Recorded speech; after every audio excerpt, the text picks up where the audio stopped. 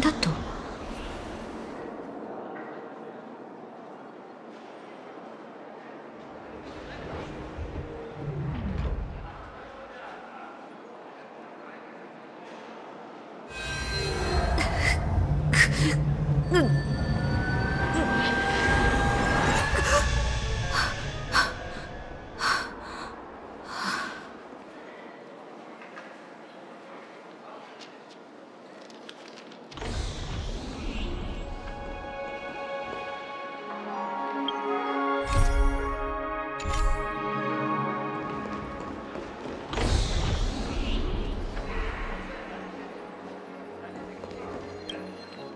俺たちは長官からの命令。私たちは前にミスを犯したからな。なるほど。あのなんでお前が？用があるなら早くあんたたち知り合いだったんだ、はあそうそう。うちらファミリーのために殺人。それは。こら。保安官がドリームな。何がさそうだ。話す。協力する気はないみたいね。なら直接その保安官に会いに行けばいい。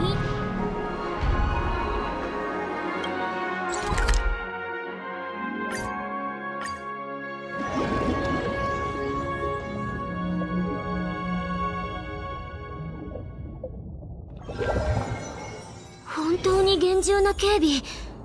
きっとあいつらも事件のことで大変なん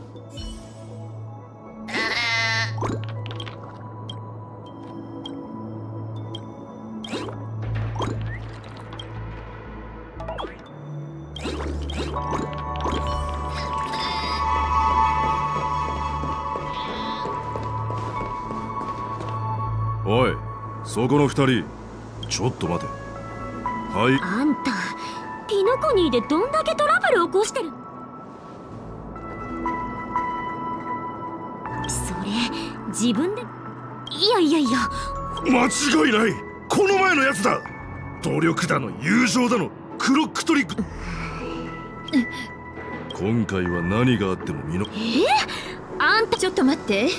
そのギャラガーってのは一体誰？ギが俺たちは保安官に派遣されただからそれで合ってるじゃん。ダメだ。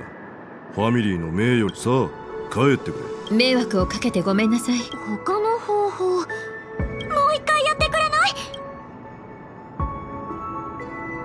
誤解を解くだけだからお願い。ファミリーの名誉に関わる分かったら帰ってくれ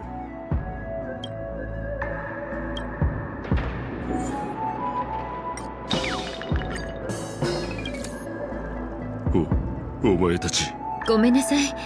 これどうしても。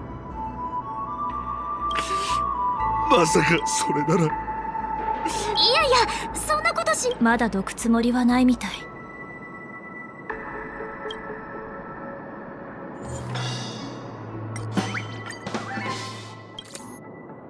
さーて今は何時だ？何もう。ゲーム終了だ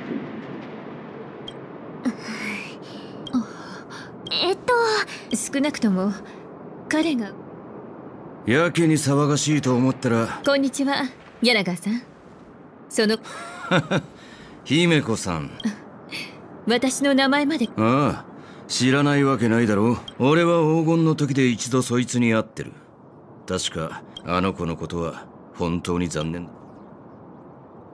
それも私たちがあんたにあまさか七死人がファミリーとつる。ファミリーがいや何でもない。どんなに美しい夢に抵抗しようがその時何かをほのめかすような。まさか。事件について話したいんだろう？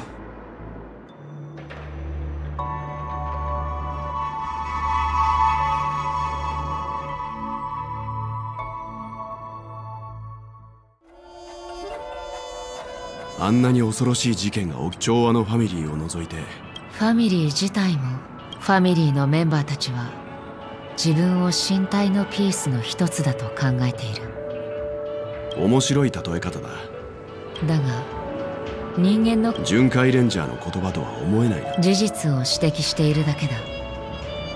ベルト。どうしてそんなことを言うんだ？美しい夢は崩れつつある。しかしそれは特定のアイオンや派閥あるいは特定の客人のせいではない。何の代償も苦痛もない。安楽と快楽だけの無境に精神を浸らせているとしかもその絵師は伝播していく。一つのピース。最後は人々が自由のために作った美しい夢がかえって今回の旅ではかなりもちろん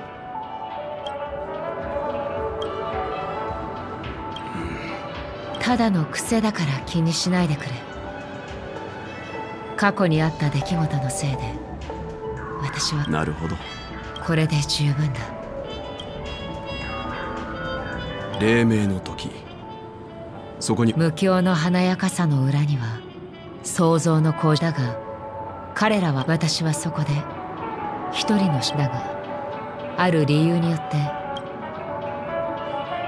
緊迫の時ああ。緊迫の時はあそこでは誰もが立派他人と話をしようとする人その金庫を彼らが再び開けるかどうかはわからない。そういえば緊迫の時を去る前。ブルーの時はとてもロベルトさんも聞いたことがあるかもしれないが私はそこで何湿った海風に吹かれながら彼女は自分の青春について語ってくれた。やがて小舟で沖に出て話を続けようと提案され私は彼女と一緒に船に乗り込んだ。だが彼女は口を開くことなくただ海と空が交わる水平線をぼんやりと見結局流行贅沢。なら夢を実現するためあるいはすでに夢を実現した人々がそこで金を湯水のように使い私はそこで自分そのオムニックは合計12回競り落とされそしてその奥これが私の以前ある人に言われたことがある。私は宴の星の現実と無境を歩き何度も開ける闇夜を見た。人々のために時が止まり。だから美しい夢の崩壊は必然だと思う。もしかしたらそのすそうかもしれないな。だがもしこれが人々の望む世界であヨミさん今度俺の故郷に一人の男がいてな世界が癒えない傷に苦しんでいた時彼はある決断を下した。世界中の人々の夢を紡ぎそれらの夢を互いにつなげ合わせ自ら背負うことで一人の巨人その後その巨人は天と地の間に立ち世界全体の彼らは災いも苦痛もない夢の中で眠り男が想像した理想郷で安らかな生涯を送った。そして精神のアダムは人々の目覚めたくないという願望によって不滅の存在となった。だが今あなたはここに立っている。つまりその男は失敗したという。人は常に未来に向かって進み続けなければならない。人間の弱さが人々の歩みを止めることもあるかもしれないが本そしてその男も決して失敗したわけじゃない。彼はその世界の全て彼は神話における太陽を追うものだ。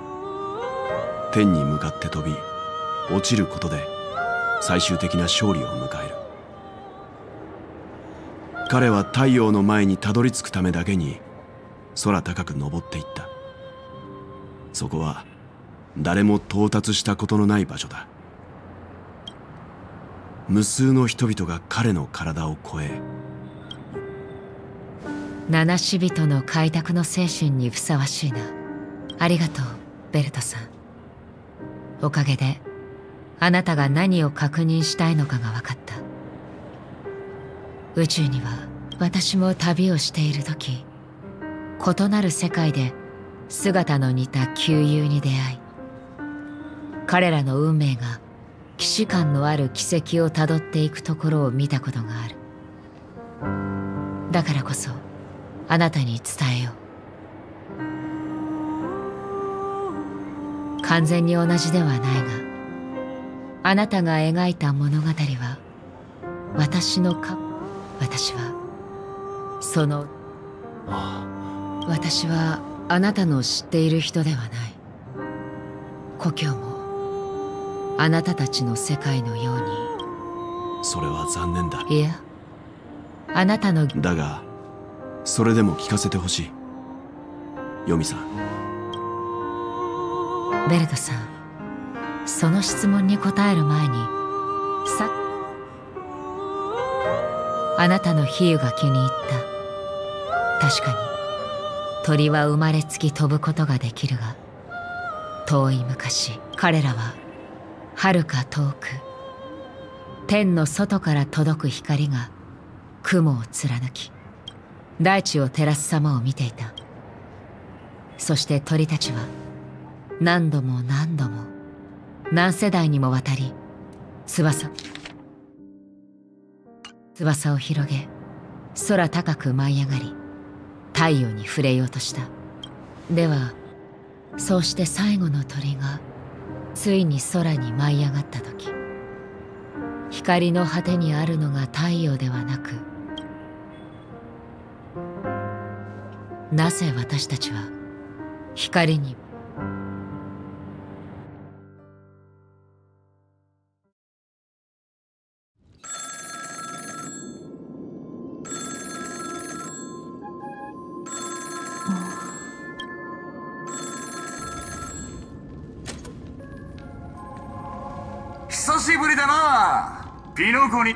この声は？あんたが何者で何をた俺の弾丸はすぐにあんたを見つけ出す。その前にピノコニで看護家を見つけて。偽物？なるほど。彼女あなたは誰？あ？あ相手を間違え私はガーデン。おおすげえじゃん。俺そういう強いタイプ好きなんだよな何を言っているのかよくわから 遺言状なんかじゃないわ。彼女は遵守の運命を歩んでなんかいない。あなたこそ遵守の運命の後人。オーケー、ま、もうすぐピノコニーに着く。メモキーパー。アステナのホワイトオークを買って温めといてくれ。それで乾杯しようぜあの女の過去んなもん誰も知らねえよ。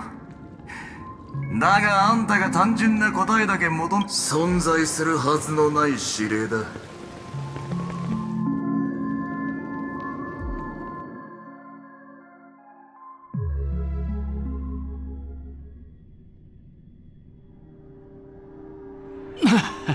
顔色が悪いな。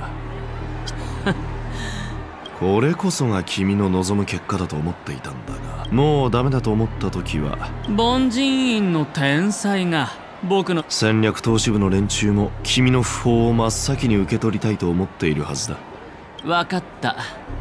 じゃあ今すぐ報告。またそんな大夢中調和にとらわれサンデーとの会話で僕はファミリーの中に裏切り者がいると確信したピノコニーの謝礼金も取り戻せたしホテルレバリーに足を踏み入れてからここまで順自分の惨状を復唱している。僕に言えることはこれだけだ。自分の行くべき場所に行くといい。僕はカンパああ。だがどうするつもりだ？その謝礼金の入ったバッグの中。さあそれはどうだろう。まあ 君は勘。狂ってる、うん、もういいこれを持っていけ。死ぬ直これは何だ？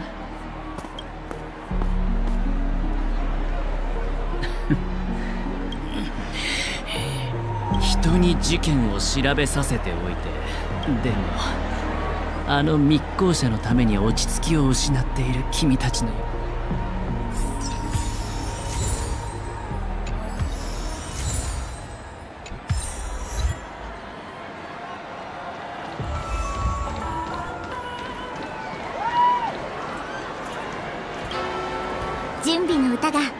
銀河で歌ああ綺麗なそれは。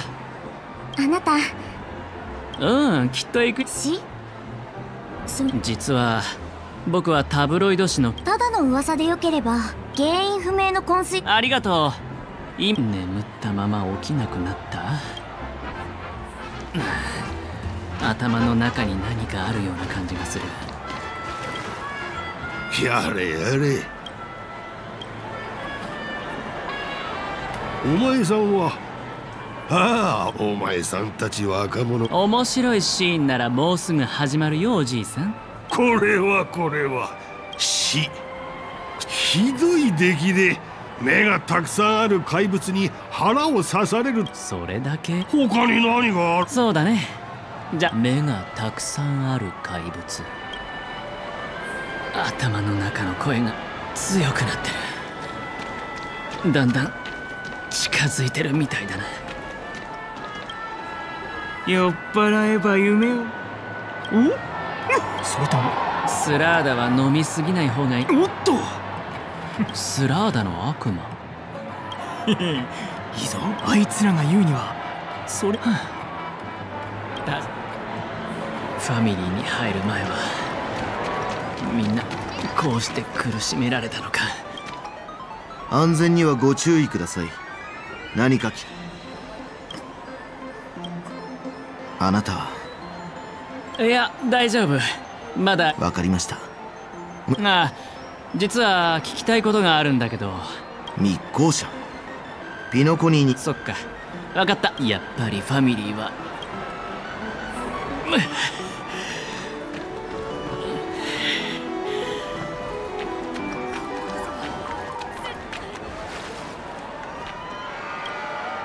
私と話がしたいんですか？お金を持っている人ほど夢あなたも体を。あらあなたも好奇心を？その局長は？理由は大した。よく考えてみたらそれ。それは何とも。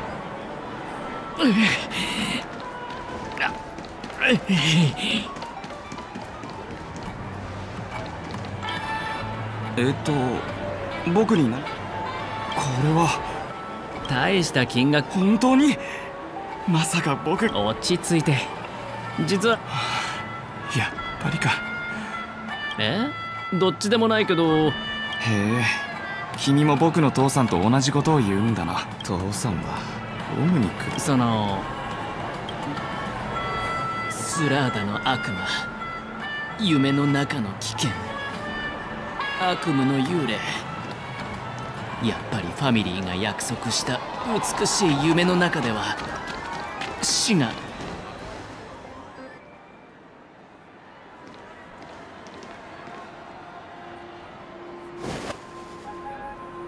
花火が言ったことを覚えてる？君たちツガンニア人はマンホールの中あちこちこそこそ嗅ぎ回ってるみたいだけど。そんなに死の匂いが見る。君か。ロビンが死んだ後テレビに現れた代役は君だってことにもっと早く気づくべきだったよ。仮面の愚者。君ファミリーに呪いをかけられたんでしょ？はああんな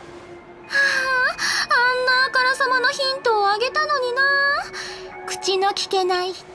その結果はどう？君は失敗したどころか自分を犠牲にすることになった。確かに口の聞けない人を仲間にするようにとは言ったけど君自身。どういう意味だい？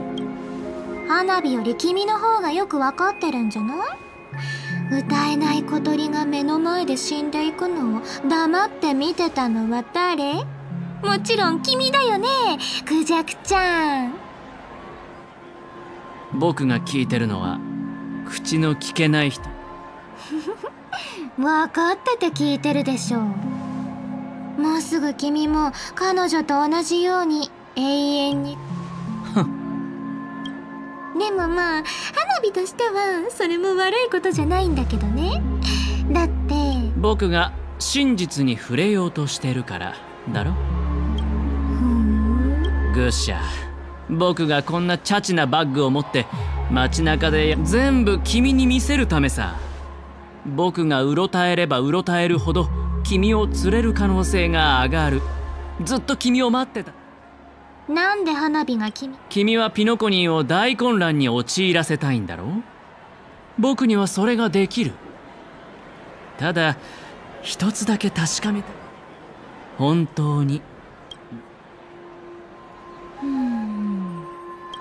もしいいや？ありがとう。その言葉がこんなに親切に聞こえたのは初めてだ。なるほどね。花火君を見くび教えてあげる。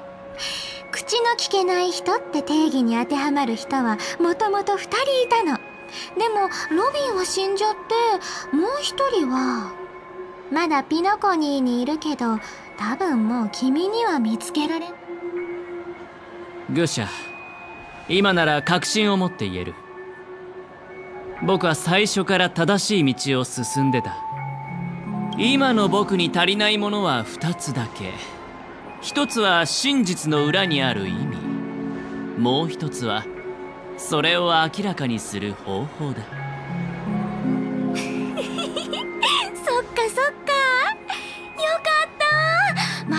花火の大好きな。いや。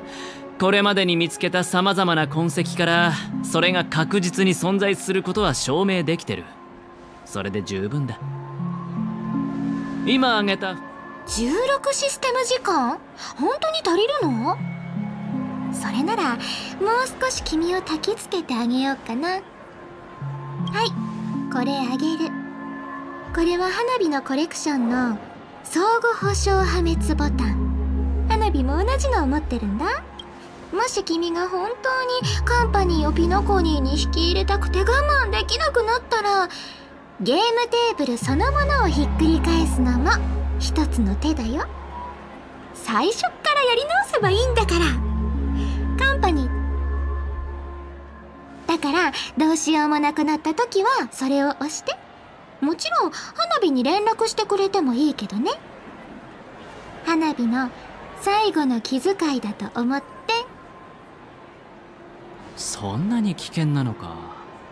ファミリーは君の言葉を真に受けなかったんだね。君は花火にはそれ。残念だけど君の提案は断らせてもらう。君のおもちゃが本当に役に立つかどうかわからないし僕は君の言う口の聞けない友人を探しに行くつもりもないからね。まあ後のことは自分でどうにかする。ファミリーの崩壊を祝うためのショーを用意するんだ。クライマックスでは高い壁が崩れ落ち人々が目覚め口の聞けない人も再び声を発することになる。その時が来たらボタンを押して盛大な花火で盛り上げてくれ。それじゃあまたね愚者。この後に及んでまだそんな大口を叩けるなんて。でも約束だよ。絶対花火をがっかりさせないでよね。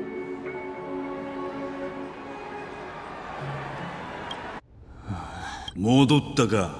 35番商品コードもお守りになるのか？黙れ。発言あの黒いスーツの連中は多くを語らなかったからな。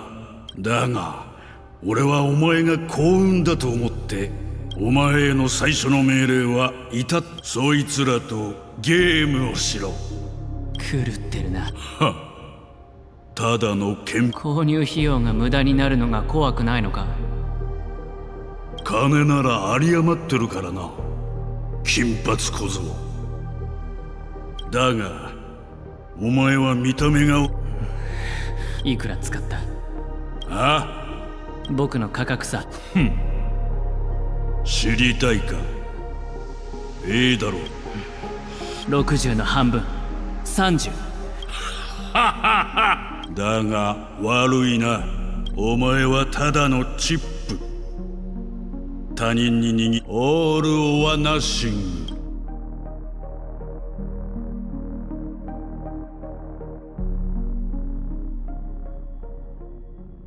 ギャラがあんたが来る。ちょっと友人が訪ねてきてな。今少し時間あるかシボン。私なら一日中暇してたよ。いらメニューには何でも載ってるけどスラーダはないんだ。何が飲みたい？すぐに。見てかっこいいお姉さん。セーバルって誰？聞こえて。あんまりそいつらをからかわないでくれシボン。年を取ったから少しはリハビリしないとかつてのなりわいをは？それなら全部カウンターの下にあるよ。せ。ああそのつもりだ。お前らちょっと手伝って事件の話をするなら長くなる。バーの中？使える材料？ここは無教だよ。可愛いお嬢さん。あんたうちのこと可愛いお嬢さんって言ってくれた。現実世界でもカクテルはただの酒と食材の融合じゃない。バーテンそうすることでお客さんと一緒に。つまり何が飲めるかは運次第ってことだ。まあまり深く考えるな。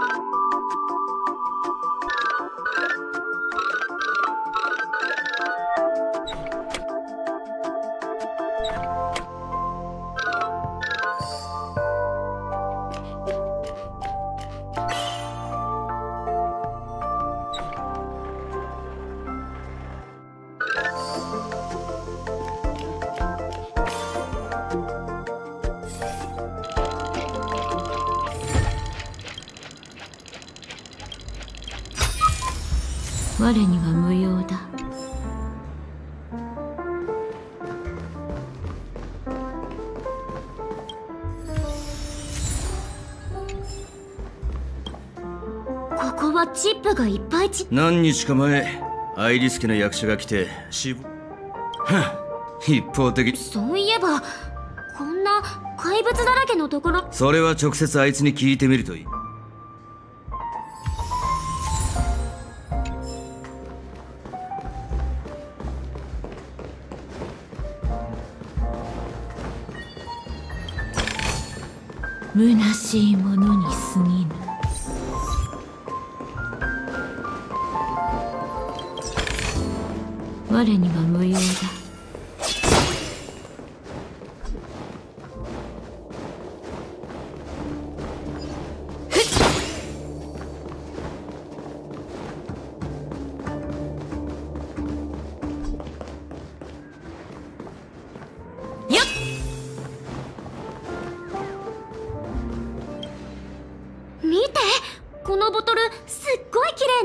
が入ってるよ。半琥珀期前こんなの人に飲ませたら大変。えこれ固まってる？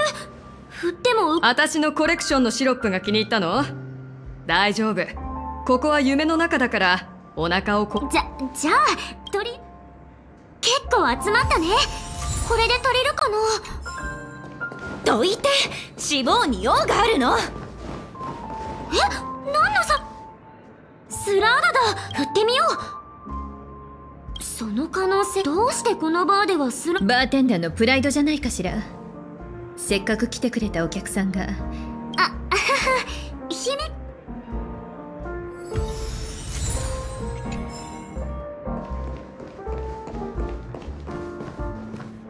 アミーチ言わなかったっけ？バーナイトメアが歓迎するのは心から飲み物を楽しみたいと思ってるお客。でもあなたには才能がある。一緒に行きましょう。私たちならきっとピノコニーで最も注目されるスターになれる。見ての通り今はお客さんの相手をしてるの。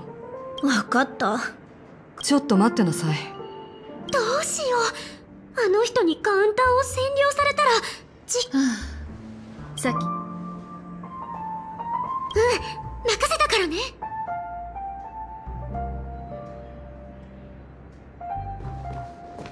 あなたがシボーンのお客さんね。一体どうして？と。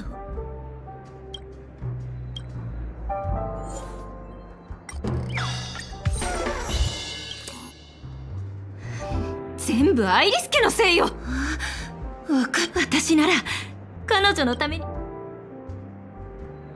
このまま話を続けさせたらたい一体どう？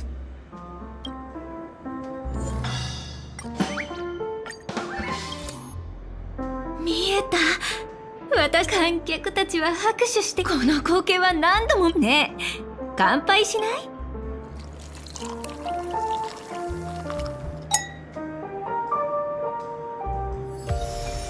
まだいなくなりそうにない。もうい一体どうして？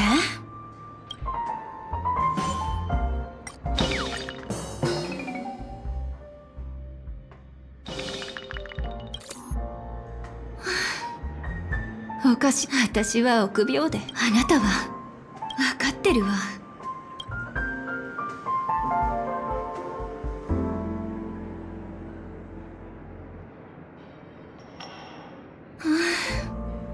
あなたと話もしかしたらこれは飲み物代よ。アミーチは帰ったの？これが彼女のためでもあるんだよね。準備ができたらギャラガーのところに行きなさい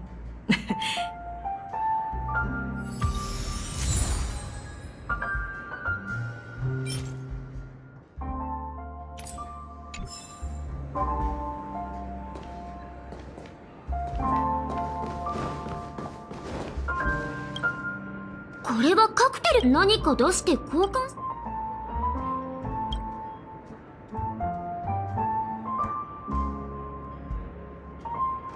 あメモの。幸福は交渉なるもの？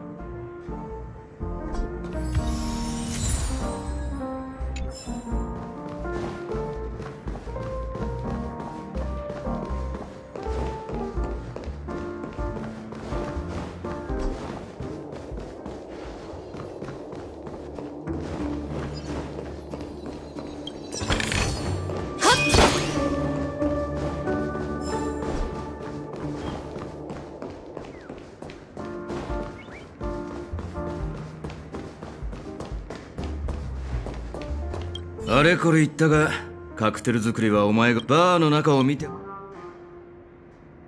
え早いじゃん。面白いものを持ってきたな。それぞれの飲み物には独特のフレーバーがあって普通はこれはあのハヌヌが愛してやまなかった飲み物だと言われてる。ベースを選んだら次は副材料だな。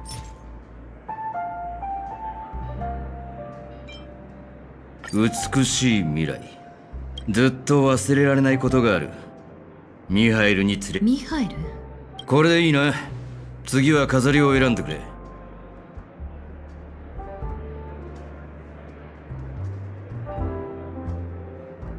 宇宙企業のお気に入りか。よし完成だ。この墓場への切符でお前に敬意を示そう。七死人死んだ者とこれから死ぬ者に。やるじゃないギャラが。腕は。この味すら豊かな味わいで何重にこれが何を意味するのかはわからない。残念だがもし深い答えを期待してるそれの持つイメージはとてもシンプルだ。この本当の味ってそうだ。どっかで聞いた。うん。ええいろいろ知ってるみたいだな。やっぱり俺の目に狂いはなかったようだ。これでさあ事件について話そう。結論から言おう。ファミリーが持っている手がかりによればそのホタルって女の子は地元の人間でも招待を受けてやってきた客でもない。俺も彼女に騙された。本当に年を取ったもんだな。だが宴の星では密航はそれほど珍しいことじゃないしところが結果は悪いその子は忽然と姿を消したんだ。え？それってつまり？いやそれはありえない。問題は彼女が死んだことじゃなくそもそもははっきり言うが彼女の状況は初めて？見られた以上もう隠す必要もないな。町にこの程度のことでファミリーに疑いをかけるのは単純すぎる夢の中にも予期せぬ死はあるがそれがどうした？そんな極めて低い確率で起こる事件が影響するのは本当にこの事件について詳しく調べそこでさっきのミ鋭いな。請求列車もあのオルゴールを受け取ったんだろう？中にどんな秘密が隠されてるか知ってるか？夢の中で不可能を見届けピノコニーの父ちょっと何笑って。俺は事件を捜査してる保安官だぞ。知らないわけがないだろう。お前らだってまだ推測の域を出ないけど。正直ピノコそうか。ファミリーはずっと前から時そこでさらに聞きたい。あんたたちはこの今ならなぜ大奥家が七死人の調査の協力を依頼しておく。それは時計屋は夢の地の伝説なんかじゃなくピノコニーの分家史上最大の汚点で。まだわからないか？俺が言いたいのはミハエル。ファミリーの裏切り者。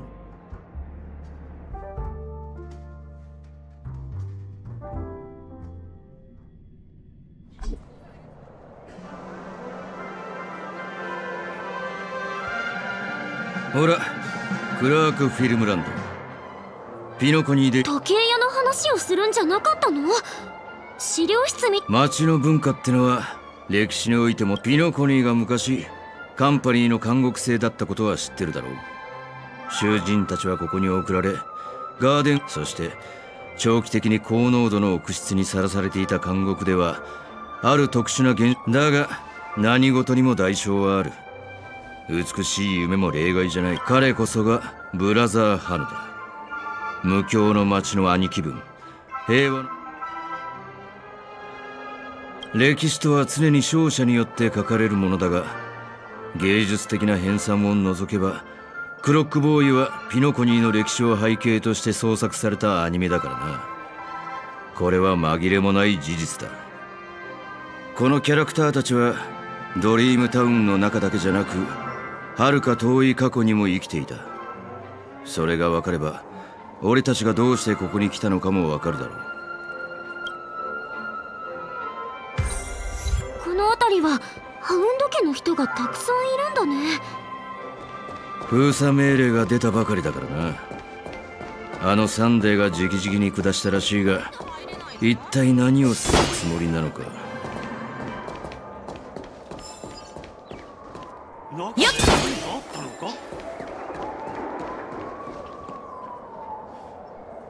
ほう。随分と大掛かりだな。容疑者を追う時でもここまで力を入れた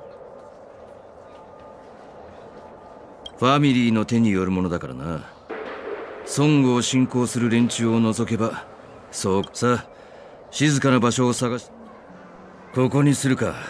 クロックボーイ。そのアニメキャラたちが現実世界にもいるのならあのクロックボーイに対応するのは待ち彼はブラザーハヌの仲間でドリームタウンの初期それは壮大な独立戦争だった。仮面の愚者七死人虚構歴史学者弔い霊人薬剤前衛。春野は当然その中には後の時計屋も含まれている。でもそうなると時計屋はなわからない。俺がミハエルと知り合った時彼はす保安官さんって何歳なの？13歳。どう見ても無理があると。ハヌヌは辺境の監獄を解放したが平和を見ることなく去ってしまった。乏しい資源。虎視眈々と。だが歴史上の時計屋がその監獄を賑やかな宴の星に変えようとファミリーだから彼はピノコニーのでもさっきの説明で時計屋はファミリーの裏切り者だって。俺は彼の仲間じゃない。かだが確かに俺も裏切り者ではあるな。何をしたの？俺は何もしていない。かつての俺にはあんたらと同じように背中を預けられるなミハイルは年を取ってたからもう自分の子供を守ることができなかった。そして俺たちは奴らは対外的には時計屋の名声を称え続けていたが裏では密かにそれでも俺たちは彼の名誉を取り戻したいと願っていた本物の裏切り者。だが俺たちは負けた。長い時間が経ちファミリーは再び俺を受け入れ保安官の仕事を与えてくれた。彼は誰にも気づかれない。誰にも見つからない場所で死んだらしい。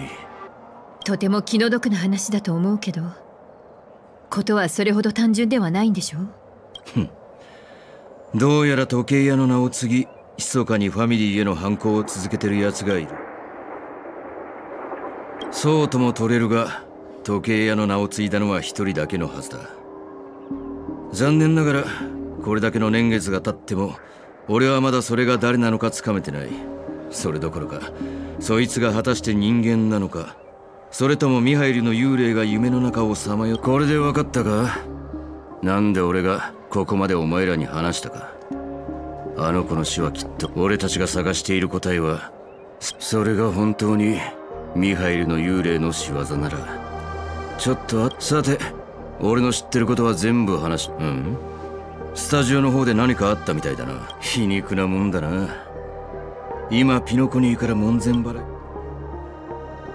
ギャラガーってやっぱりホタルの行方は謎のままだけど彼の話を聞いて多くの疑問が解けたわ。時計屋の正体。ええ。ギャラガーは本当の裏。それもこれまでに集めた情報と辻褄が合うわね。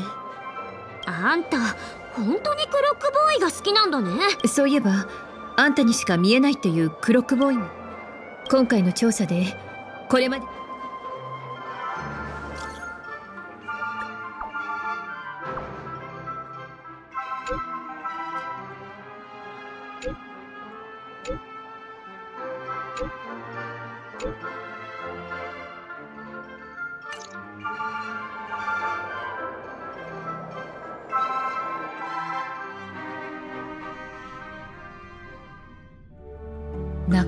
心配してるの。いやただの業務連このまま進むと朝露の館。これまでの道のりは順。まずは話を聞ける人を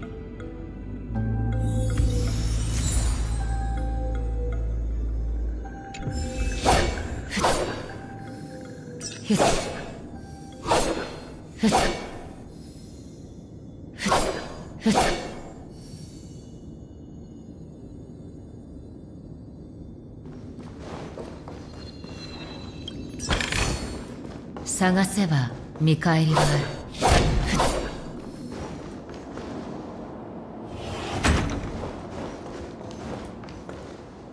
妙だな。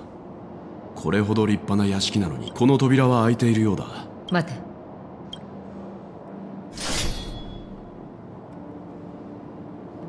白自分の気配を少し薄めた。これで見つかりにくくなったはずだ。なるほど面白いわ。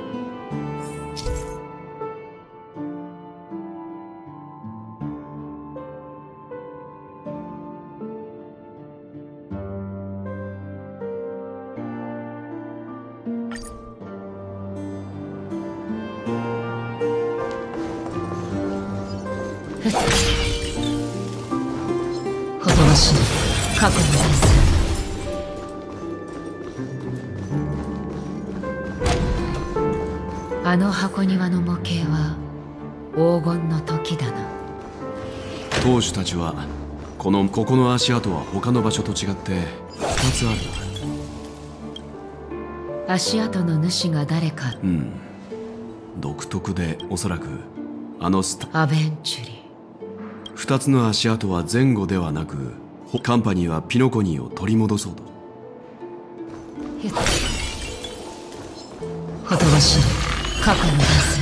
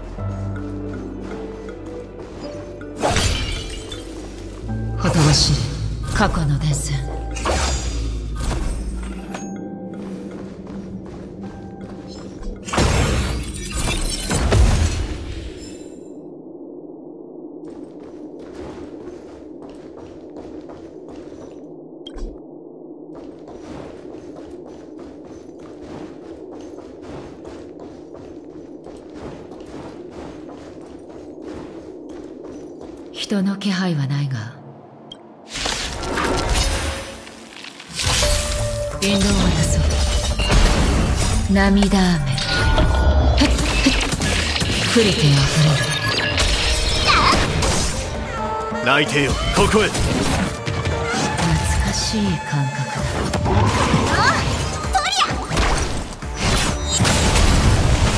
全てが消えるいしょ。引導を渡そう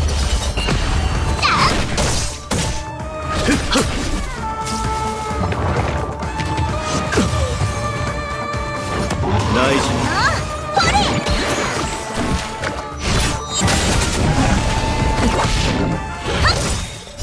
おいでよはいよ陛下に慈悲なしち切る。ひ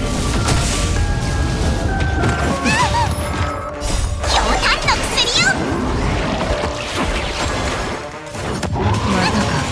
トリア全てが消える。許さない。泣いてよここへ涙雨。ひっひっ降りてあふれる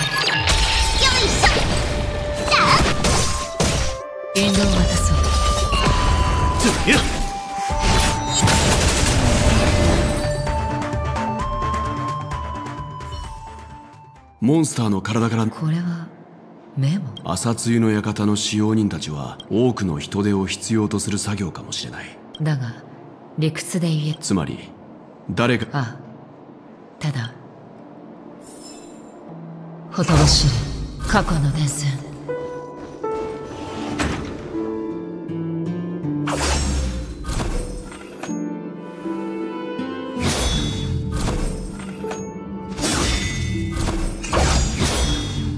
ここにも誰もいない。誰もいないなら勝手にさせほとばしる。過去の伝線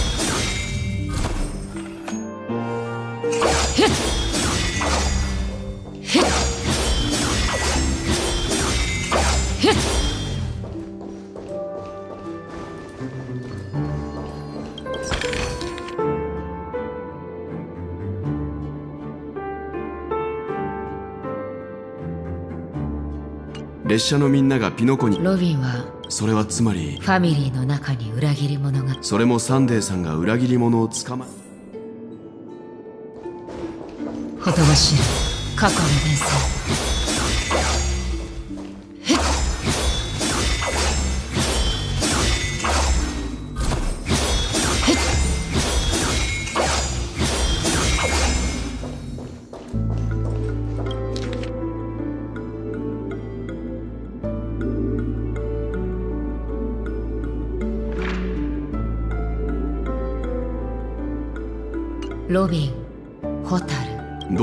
噂は正しかったようだ。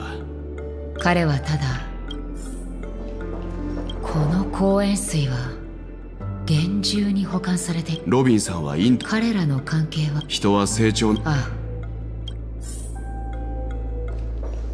ほとばしる過去の伝説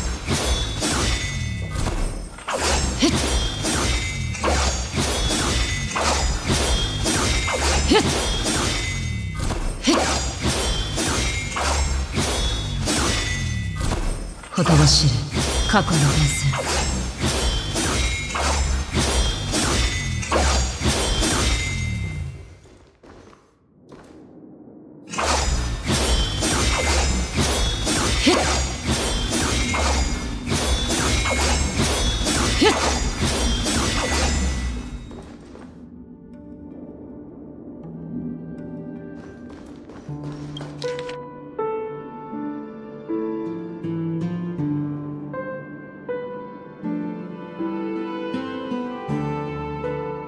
サンデーはよどれもファミリーない。何か気づいたの？いや何でもない。サンデーさんが今回の事件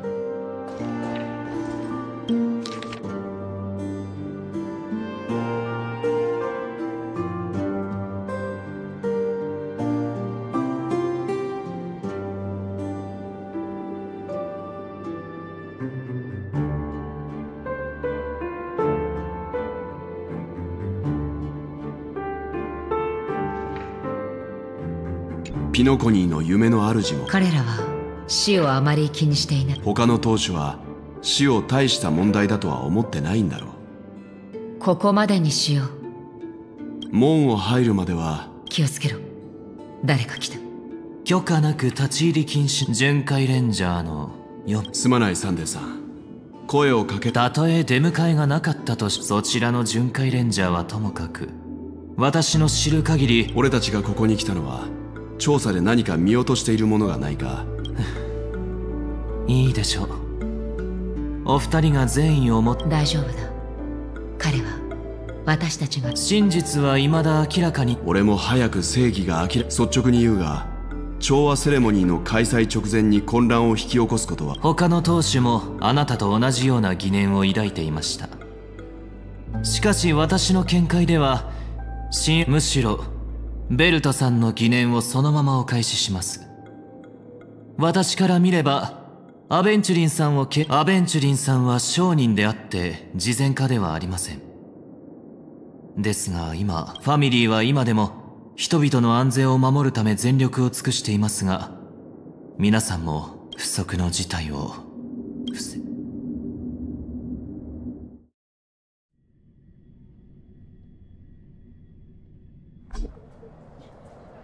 ビルポインターホットラインによるとこの詐欺事件は本事件の容疑者はツガンニア4出身。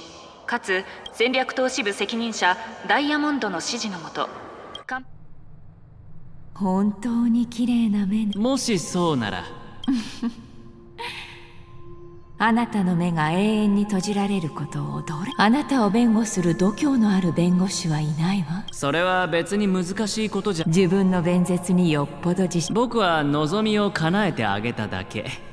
君たちはカン運が良ければカンパニーはエイジハゾの鉱山の中からあらゆるものを。その点は否定しないわ。でも私が興味を持っているのはレディ僕は自分の欲しいものをとっくに。なら。僕の命だ。君が僕を。それで。君たちのラーナに会わせてもらいたい。その後は？金が欲しい。そんな簡単な。そんな簡単な話さ。三重多ガンバ。その金さえあれば僕は君より高い地位に上り詰めもっと多くの富を手に入れられる。面白いじゃない。でも残念。ダイヤモンドはあなたに会いに来んあなたは間違っカカワーシャいい名前ね。さあ自分の好きな服と肩書きを選ぶ。あなたの計略が。命ってのは一生正しい決断だけを守護神が僕を守ってくれているから？それなら今この瞬間も守護神は僕を見守っているはずだ。でもこの難関を突破した後今度は何が待ってるんだろう？一回また一回とせ全てを失いやしいキャン。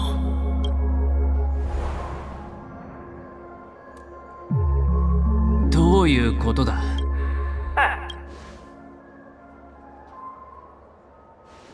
僕は夢を見てるのか？多分その量？もう僕のことを忘れたのかい？今にかの？もういい。僕は狂ってるのかもしれないけどバカ。じゃ調和？バカ言わないでくれ。僕たちは別には僕は君で君よりも自分のこと君が望んでいることをよく知ってる。君は死にかけてるんだ。そして死を前にしてもなお不運な人。盛大なショーなんて本当に自分にできる。どういう意味だ？君は全ての人を騙せるかもしれない。僕が証明してあげる。君が完全に消えるまで僕は君と一緒に最後の道を歩こう。歩きながら。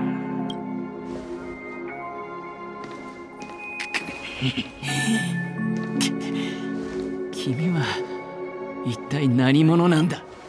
この世界の大半の人たちはある一つの結果に関わしゃ 最初は幻聴今度は幻覚か。本当にすごいな次は僕が調和の指令に昇格するのかな。ピピ詩人が一人いるだけ。いや違う。子供か？確か黄金の時は未成年者の。どうしたの？お兄さん。気分。ありえない。綺麗でしょお姉ちゃんはこれはマザーフェンゴからのプレゼントなんだって。言ったお兄さんも。君は一人なのか？お父さんとお母さんはこの遊園地にいるよ。先に僕もう行かないと。じゃあねお兄さん。お兄さんも楽しあの目。それにマザーフェンゴ。いやありえない。もう宇宙にエビキン人はいないんだから。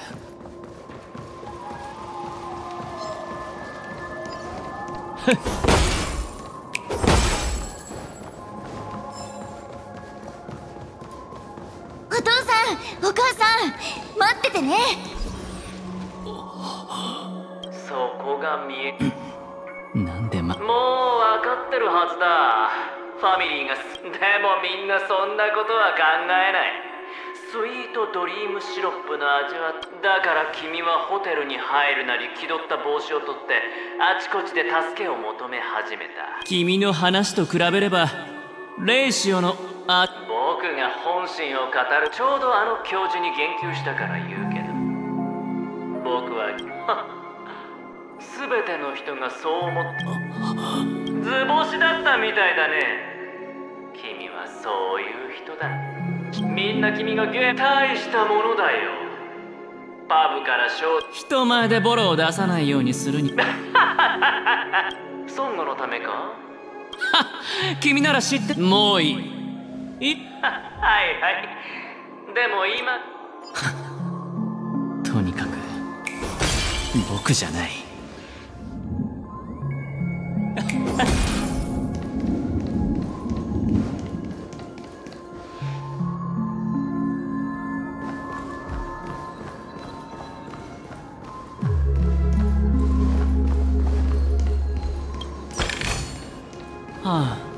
これっぽっちじゃ入場できないよ。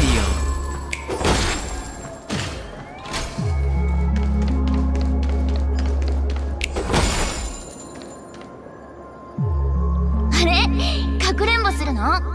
僕かくれんぼが一番得意なんだ。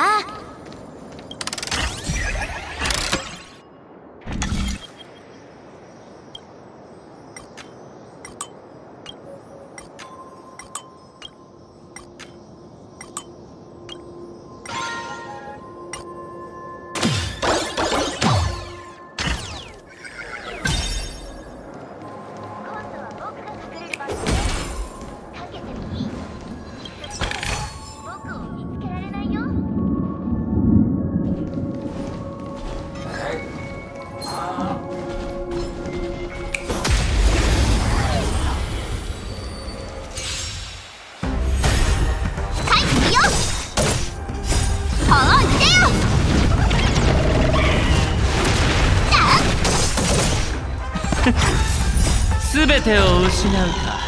はたまた手に入れるか。気をつけて。陛下に慈悲なし。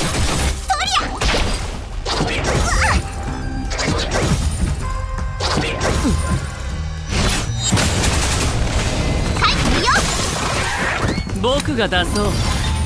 来帝よここへ。タッチキル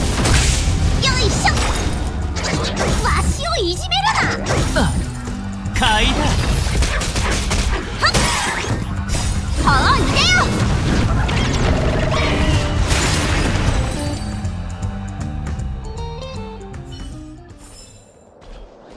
今度は僕が隠れる番だね。かけてもいい。きっと君たちは僕を見つけかくれん。ぼ母さんと別れた日。どれかけてもいい。君は彼らのけたたましい笑い声を忘れられないはずだ。あの服はダメになんかな？あれはただのボロン。今の君は隠れる必要がないどころか。僕は最初から変わって。いや君は変わっ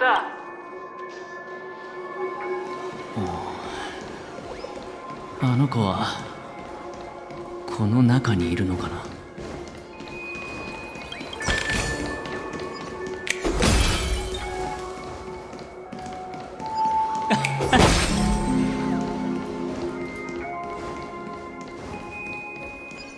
Bye.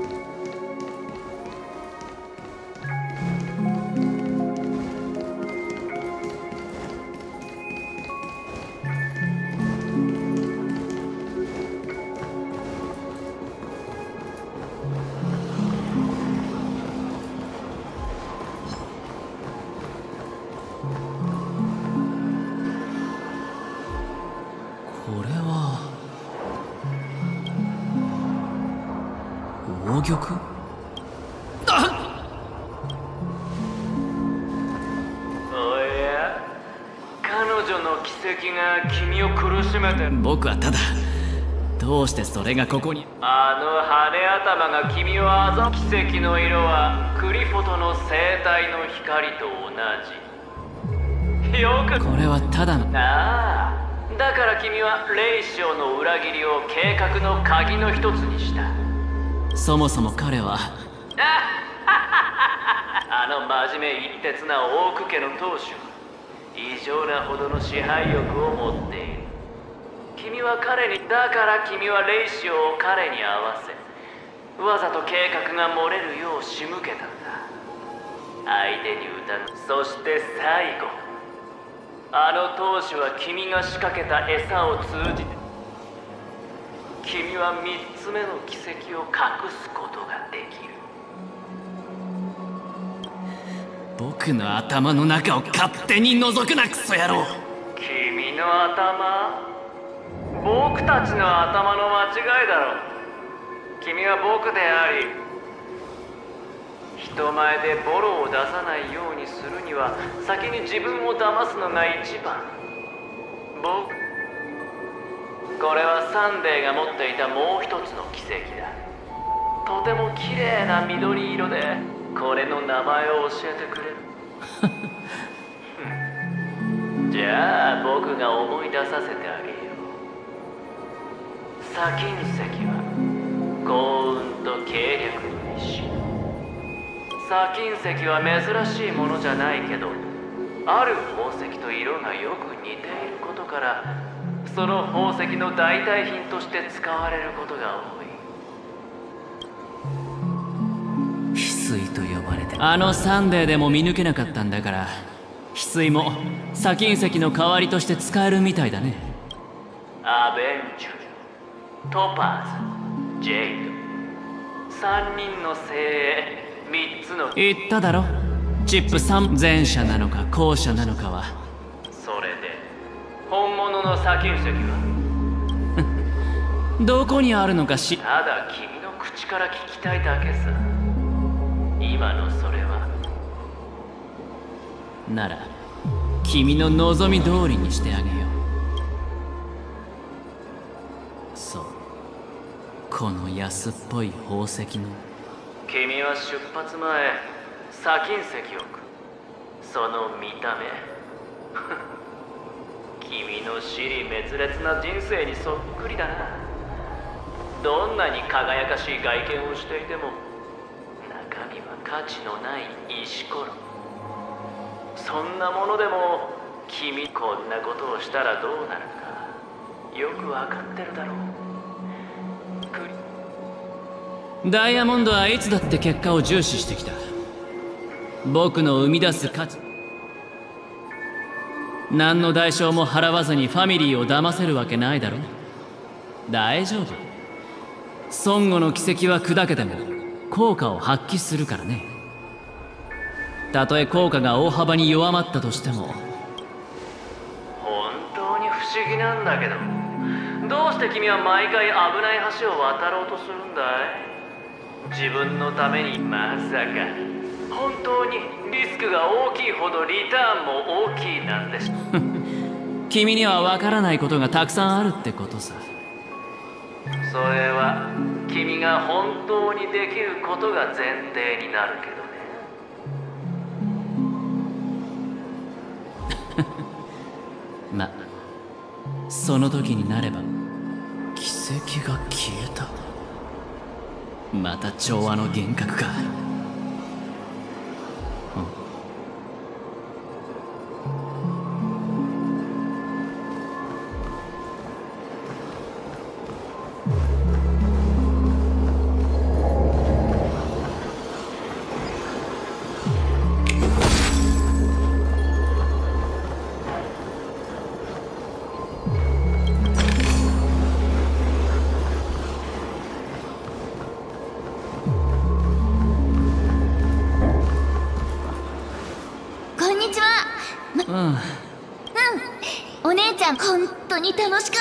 れを言うならそうそれ。たくさん僕とお父さん。よかったらお兄さんもやって。そうだね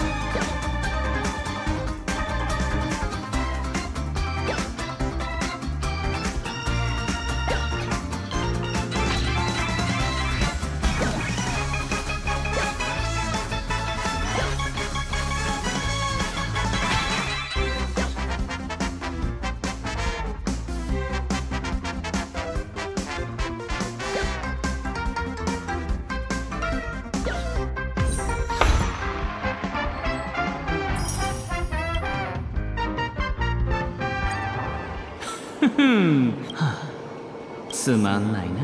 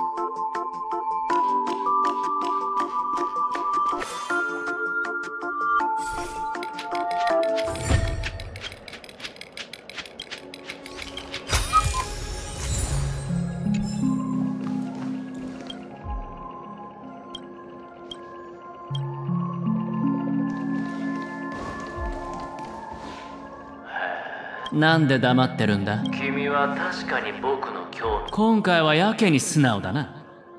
素直さは数少ない僕の大切な品性だからね。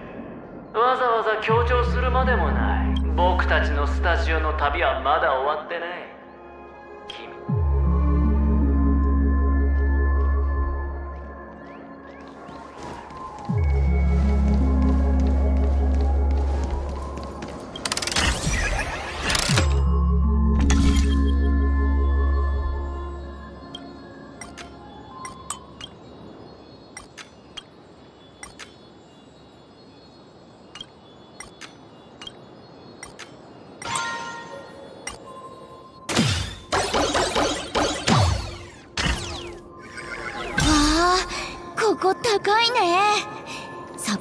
一番高い岩より高い。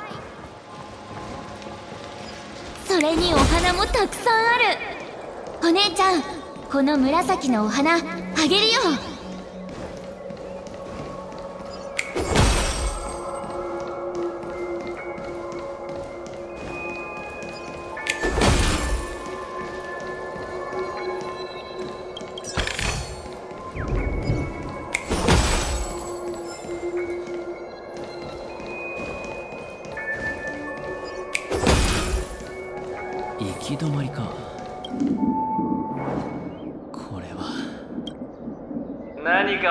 君には関係ない。ヒントが必要かな？これは君にはめられ君はこの鉄の鎖を拳に巻きつけた。黙れ。うん。その過去を直視したくないのか？僕が思うにどっちも正しい答えじゃ。弱いやつが危険ああ。確かに。あの同行者。残念ながら君。君が言った小細工は確かに効率的かもしだって彼女は僕に。つまり。それは反則だろこの葉っぱを持ち帰ったら新しい花が咲くかな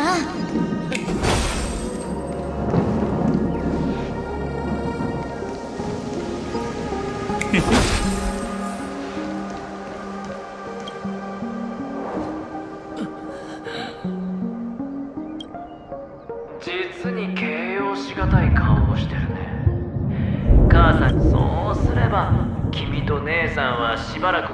母さんは2つのアクセサリーしか残してくれなかった。君はいつもそう言ってるけど。関係ない話を持ち出すな。はわかった。ところできっと今でも耳に残ってるんだろう。そう君は覚えてる。姉さんの最後がどんなに惨めだったかも。いい加減にしろ話を遮られたのはこれで2回目だ。君はほんようやく君の考えが理解でき最後にはあの性格から始まってロビンの声の喪失。2つの殺人事件。サンデーとの交渉。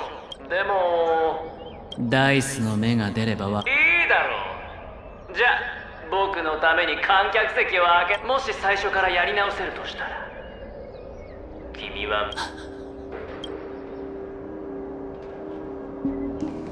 今回は静かだな。ようやくあいつが消えたのか。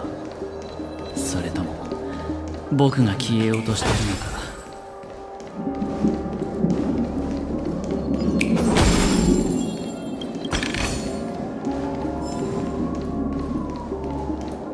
やっと出られた。帰るの？でも僕まだ帰りたくない。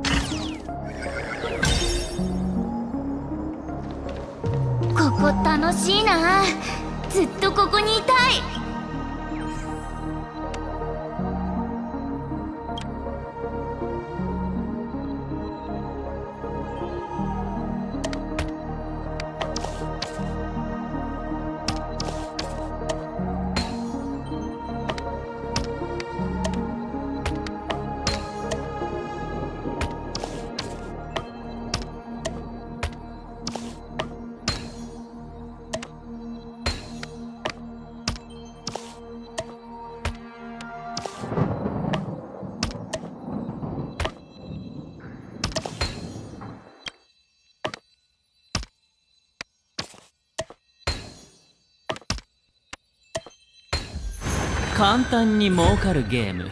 いいね。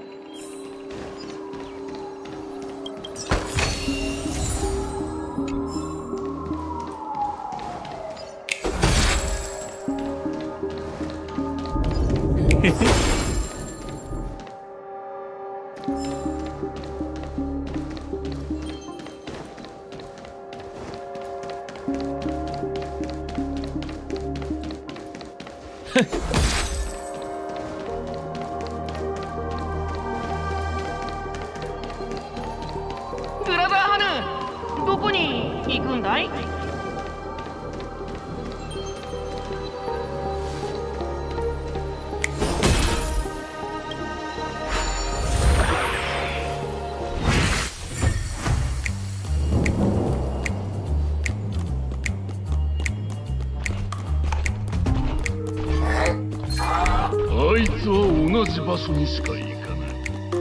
たとえ過去であろう。今であろう。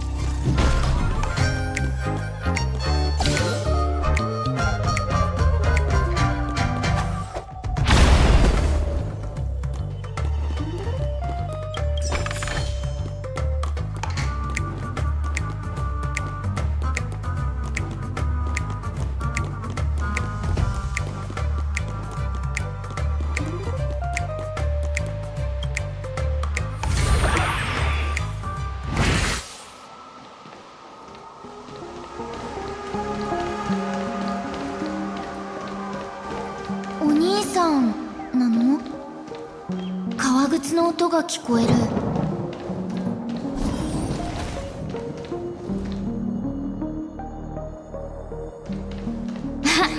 本当にお兄さんだった。なんでかわからないけどお兄さんを見てると不思議な感じがするんだ。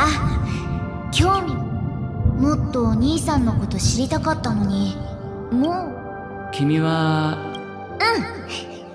ろ帰らないと。暗くなってきたし。君の家はどこに？おかしなこと聞くんだね。家はお父さんお母さんおねこの夢だよ。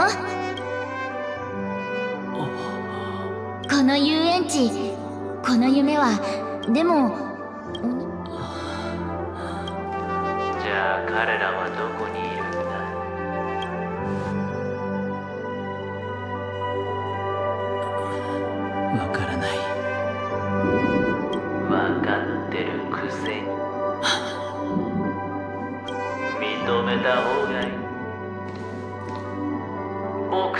は疲れてる。だからここに残ろうとしてるんだ。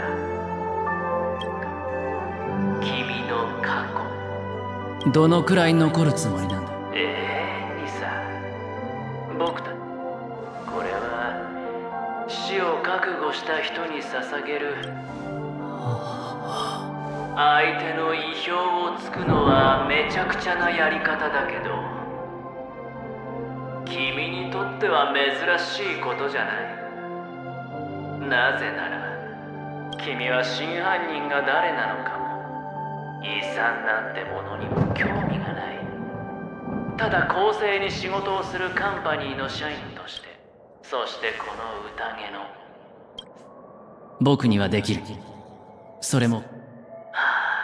そりゃできるだろうね君の幸運はきっとちょうどいいタイミングで君を助けてくれる。一これでカンパニーもテーブルにつく資格を手に入れられる。そして君も果てしない渦の中から抜け出して夢にまで見た救済を得ること。別に初めてじゃない。これは君の一番得意な一番望んでいるやり方だ。ダイヤモンドは君を選んだのか。彼が欲しいのはピノコニーだけだ。手段も代償も厭わない。ああそれは大変そうだね。急に思いやりが出てきたけど両親がいたんだのかい？僕は結局君の自我の中から生まれた存在だからね。投げ出したチップを取り戻すこと僕は君がすることを止められない。君が行く場所も。腹水盆に帰らずってやつさ。僕たちにできることは全てのチャンスを。残念ながら。人は一生正しい決断だけをすることはできない。たとえ常に幸運が味方君は常に勝ち続け。負けたことがないでもどうして君なんもし幸運な人の奇跡が彼の愛する全ての人さらにはそれ以上に多くの人の不幸の上に成り立っているとしたらそうだとしたら僕たちは一体どその終点にたどり着いたら僕たちの迷いも分かった僕は先に行くよ。この先で君を待ってる。最後の時間を使ってこの子にちゃんと別れを告げるんだ。で後悔なく死ねるようにね。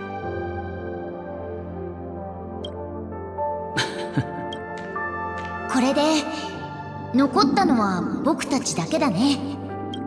僕の写真を撮ってくれる？よ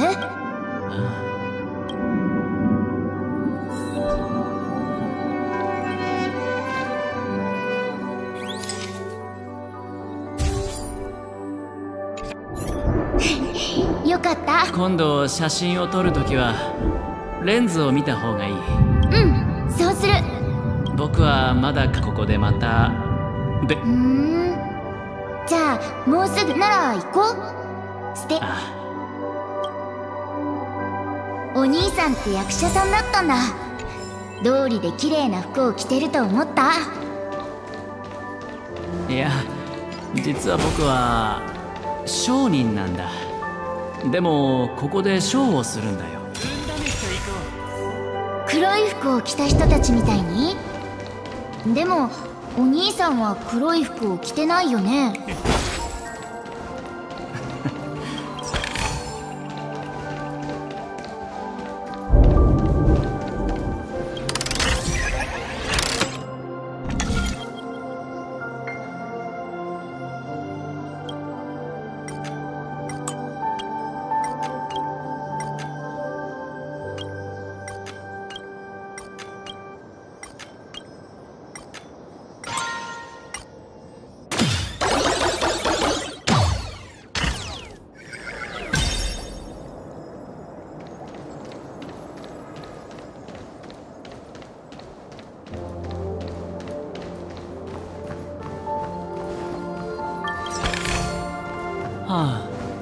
れっぽっちじゃ入場できないよ。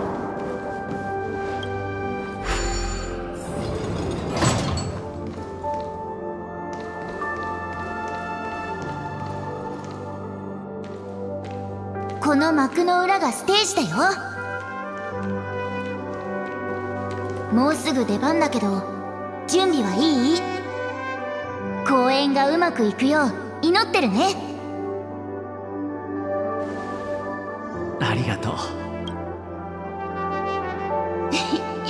まだ緊張？よし。じゃあ手のひら合わせしよう。チボ神の加護があればお兄さんも気が楽になるはずだから。手のひら合わせはちょっとした儀式なんだ。手のひらを合わせてマザーフェンゴに祈りを捧げるとマザーフェンゴが祝福してくれるんだよ。知らないなら僕が教えてあげる。大丈夫。知ってるから。もちろんね。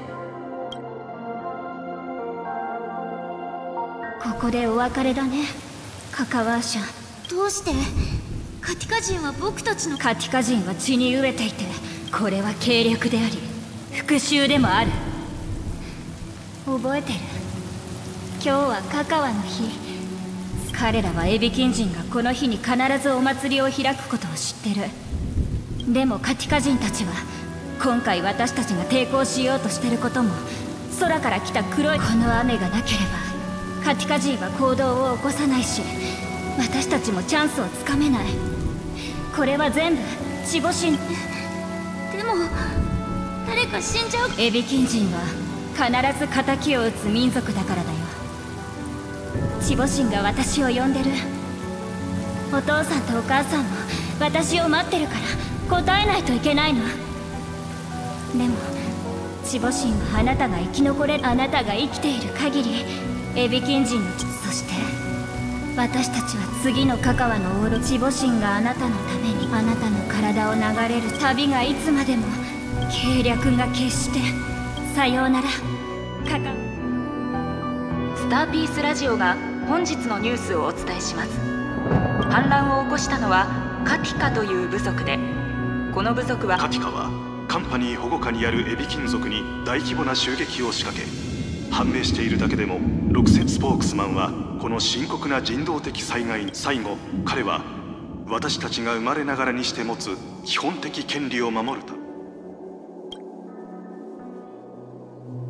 カカワーシャ？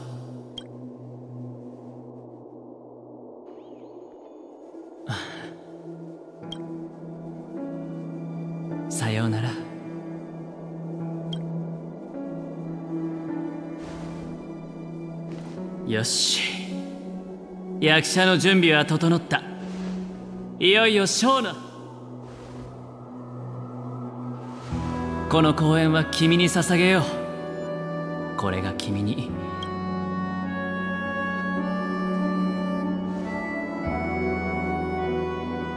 カカワーシャああそうでした。行く前にあなたは本当にこの世界を自らの手で滅ぼしたいのですか？仮にあくまでも家庭の話だけどきっと僕は喜んで書けるだろうね。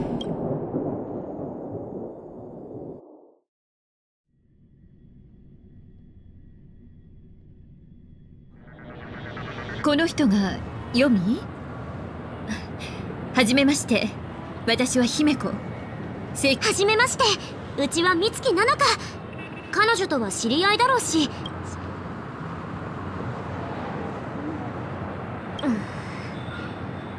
はじめまして。ベルトが一緒に行動すると決めたってことはあんあなヨミさんは危険分子ではないし請求列車に敵意を持っているわけでもない。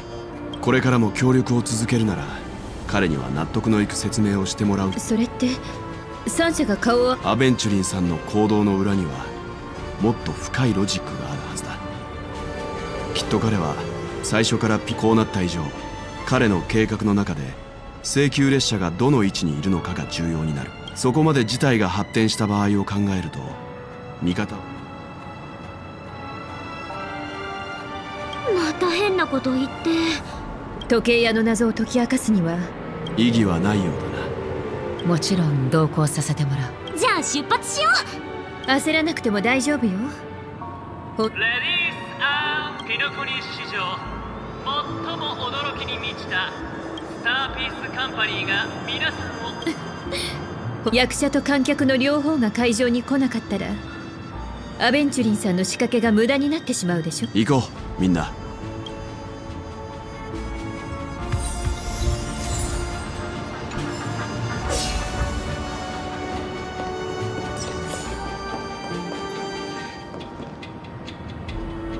行こうみんな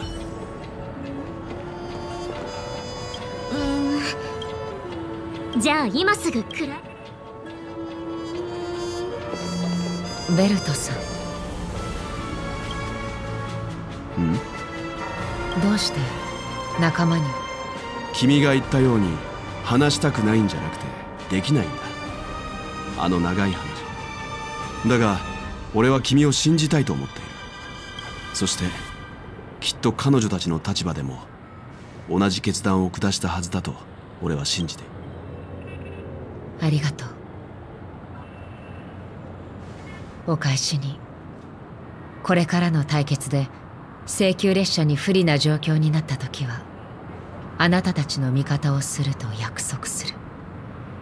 微力ながら手伝わせてもらおう。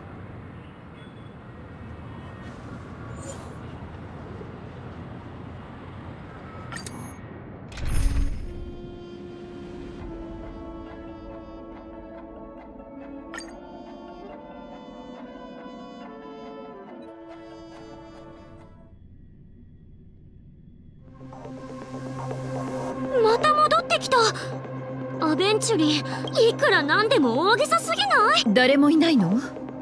さっきハウンドたちがみんな目を離さないで。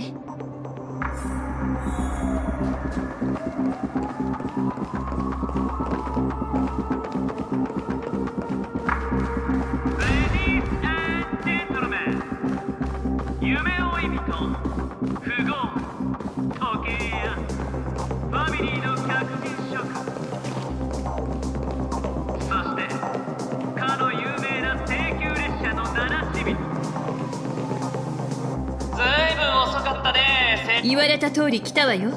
アベンチュリンさん。もちろんそ拍手で迎えよ このステージと彼女の正体は真犯人。ういや関係ならある。それはね彼女が3件の殺人事件の唯一のも3件の殺人？そう。3件本当にせ君君君はここで自分を過小評価しない。もっと分かりやすく言おうか。僕はボン。楽園。虚勢を張っても無駄だおやかけるのかい？いいだろう。なら僕もかけよう。もちろん自分がだ。あなたにはでき。できるとも僕はツガンニアの砂漠から来たんだ。たった60枚の銅貨のために。でも太陽は僕を殺せなかったそれどころか君たちに睡眠は死の予行演習ということわざを紹介し毎晩夢を見るのは死に向かみんなも断る理由がなサイは投げられた。さあゲームを始める準備はいいか。喧騒者の空随しか。何の価値もない。かけようこのゲーム。僕が勝つオールインだ僕は死をも乗り越えてみせる。全てを。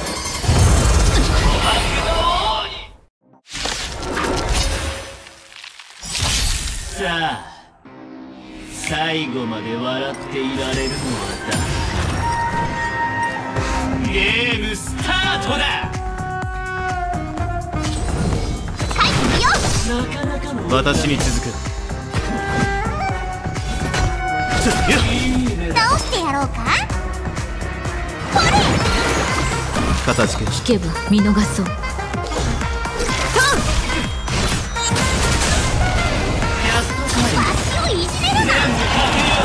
くだらない。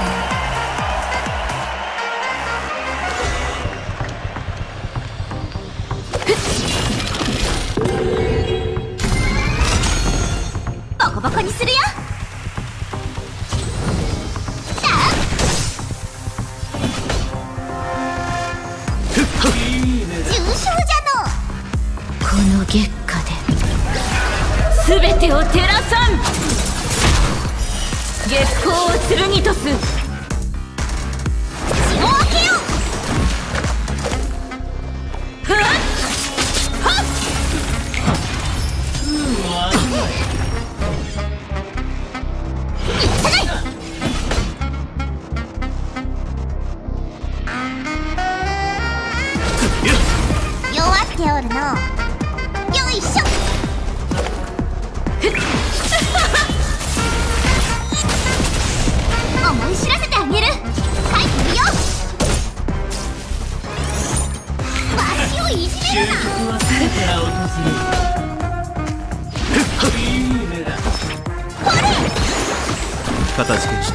見逃そう。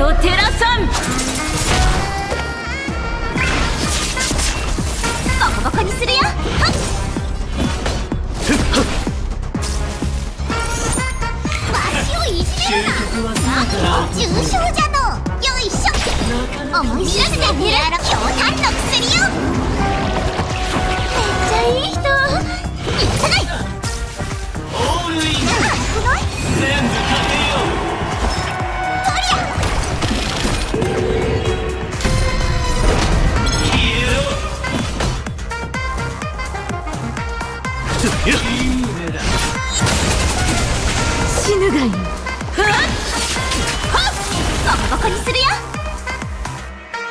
はいよ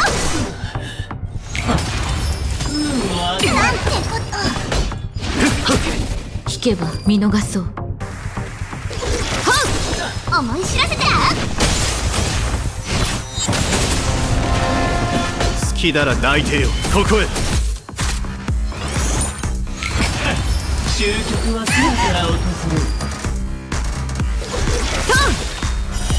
月光を剣とす。ボコボコにするよ。帰ってくよいい目だ。やっと帰る。ノーモアペン。思い知らせてあげる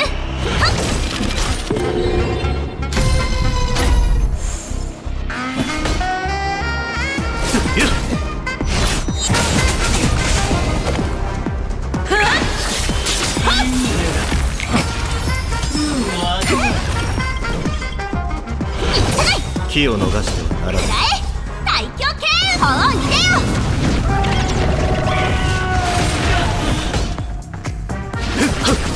これなら遠慮不要だね。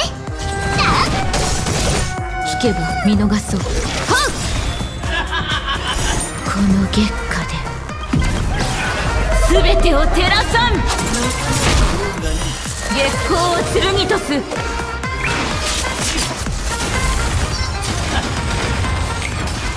逆境に追いやられ人は希望がある限りかけ続ける。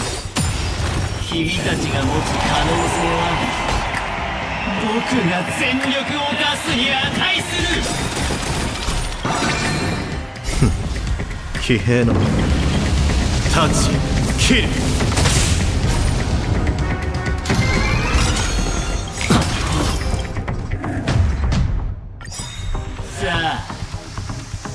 最後まで笑っていられるのは誰かゲームスタートだ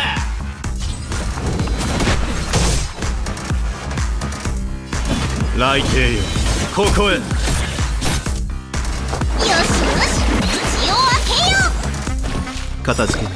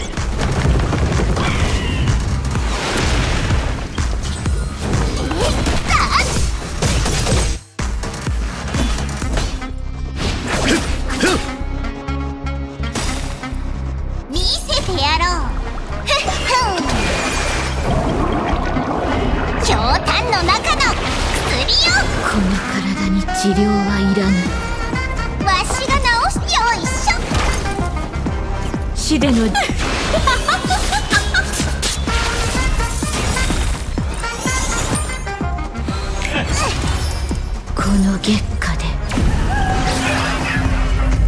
全て照らさん。運を味わえ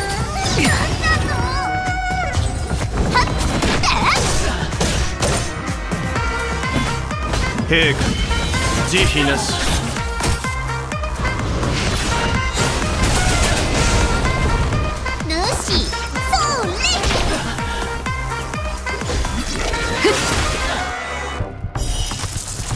月光を剣とせん。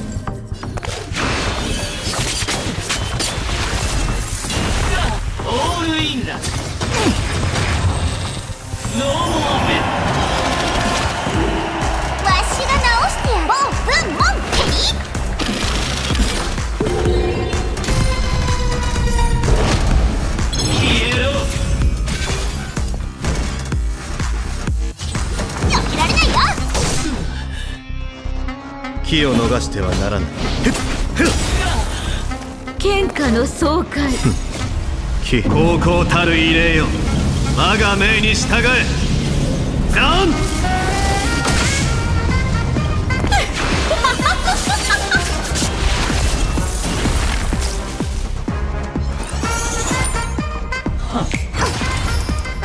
終局は空から訪れるどいて。ボコボコにされたくないさ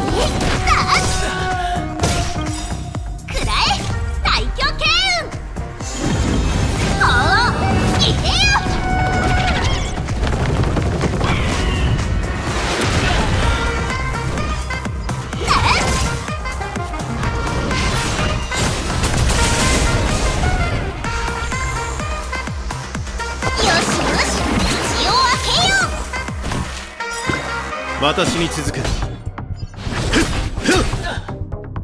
今引けば身の飛行よさせ見せてやろう。ふっふん。ひょうたんの中の薬よ。かたじけ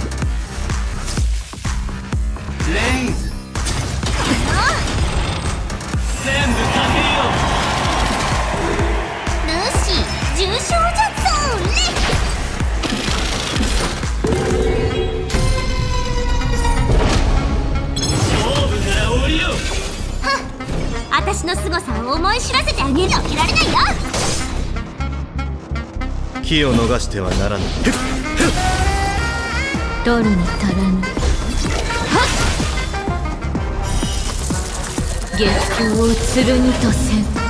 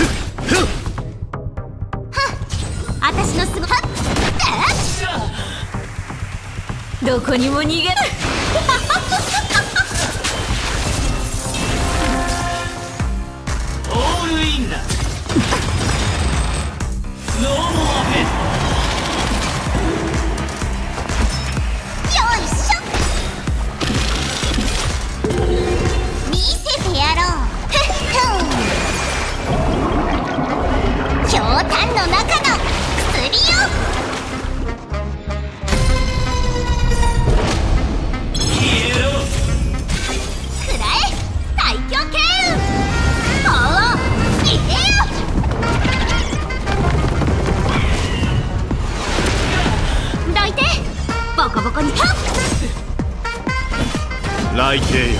ここへ。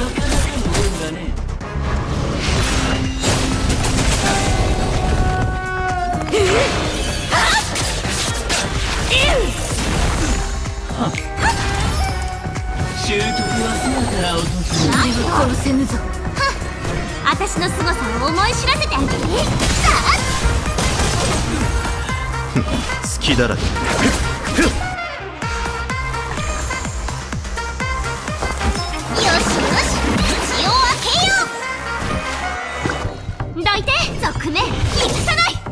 くだらない。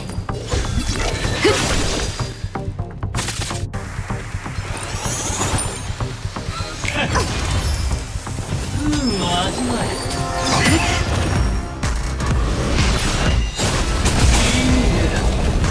え機を逃してはならない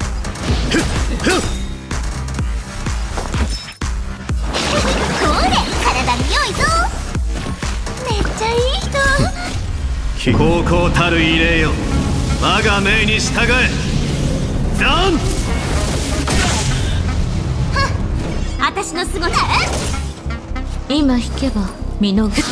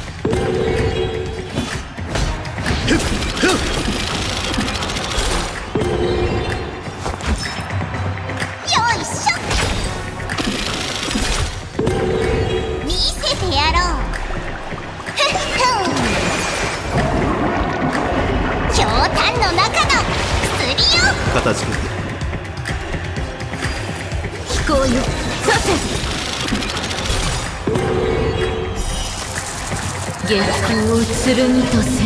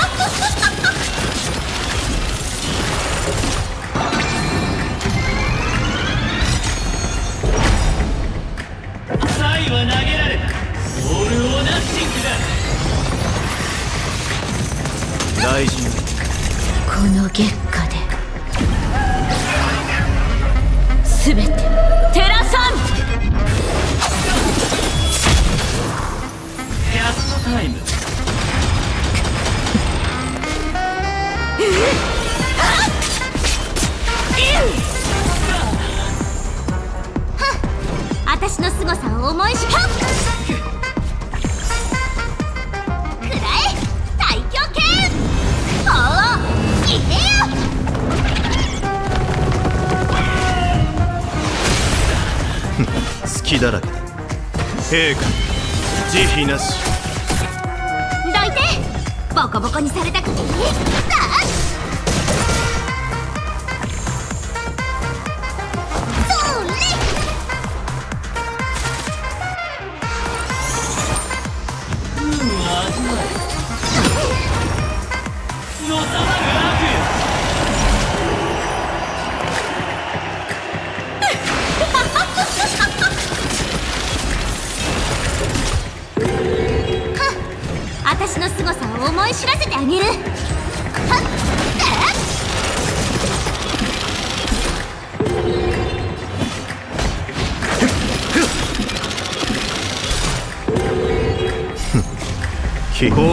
る異例よ我が命に従え。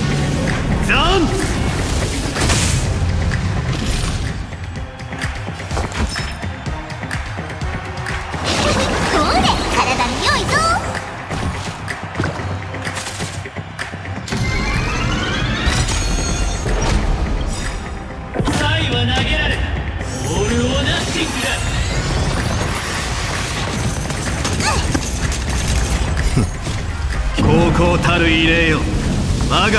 従え。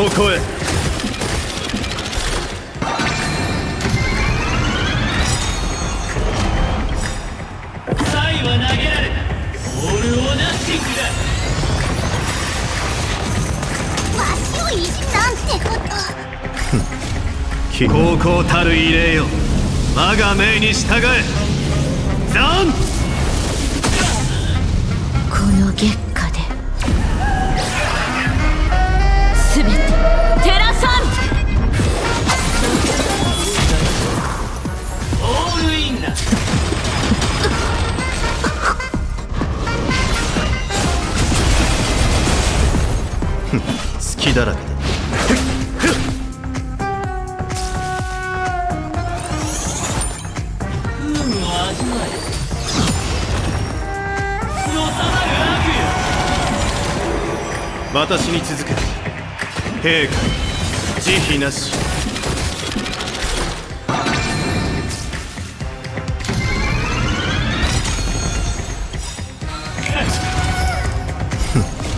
騎兵の出番。高校たる異例よ。我が命に従え。ザン戦場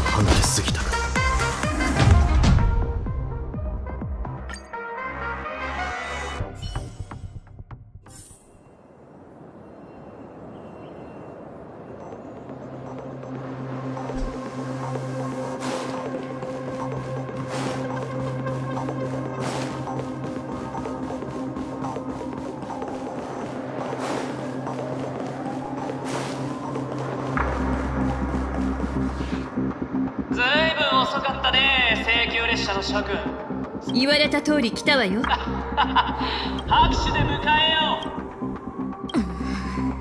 このステージと彼女の正体いや関係ないそれはね。三件の殺。そう。本当に正君。き君はここで。自分をもっと分かりやすく言う。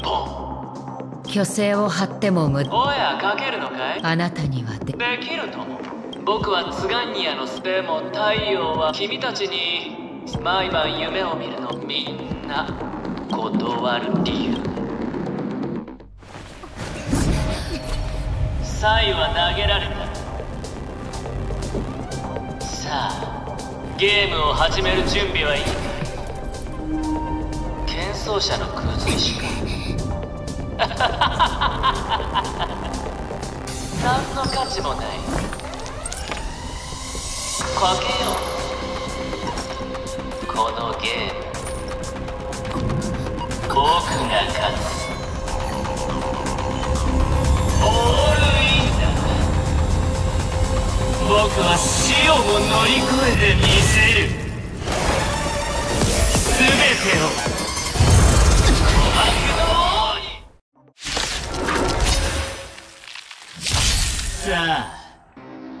最後まで笑っていられるのは誰か。ゲームスタートだ。気を逃し来帝よ。ここへ。ほれ体に良いぞ。くだらぬ飛行よ。させ。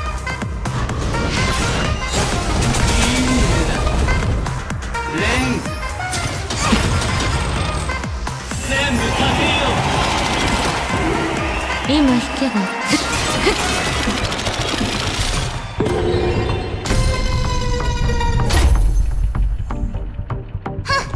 私の凄さを思い知らせてあげる避けられないよ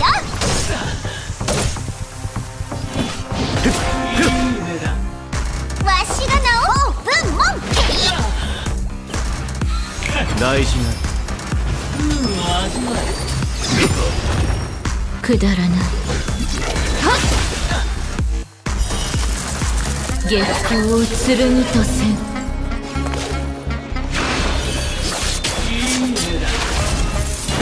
これなら遠慮不要だね。賊め行かさない。私に続けぬし。よしよし。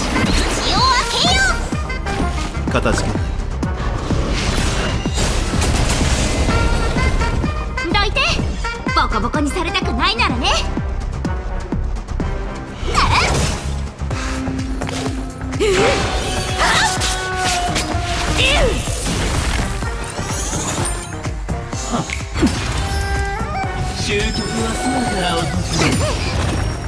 機を逃してはならない。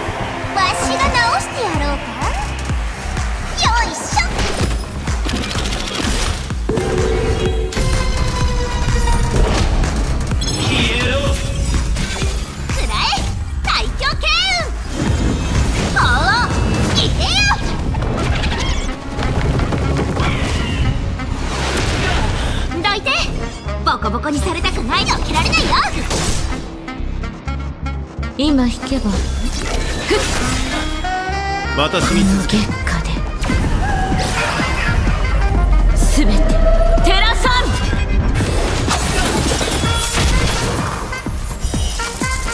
月光を剣とせん。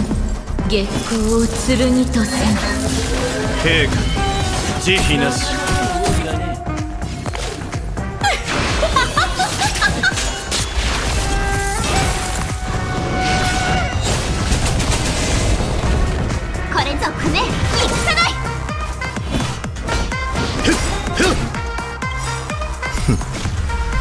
皇たる異例よ我が命に従え。ザンえ？っ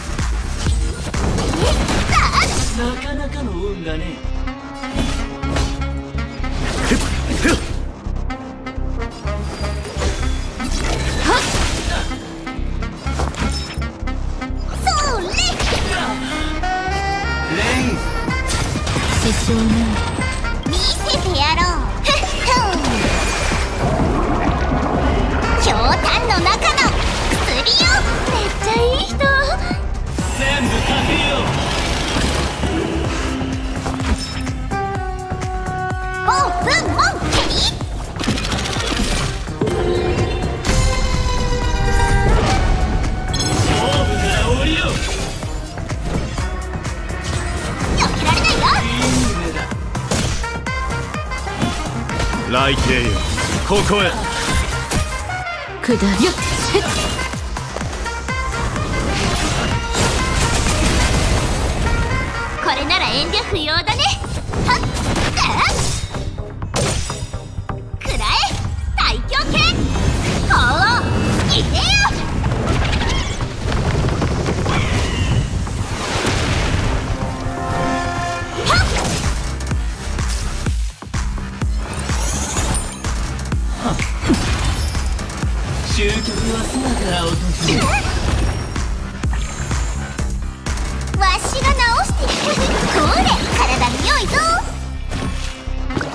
機を逃してはならぬ。飛行よ。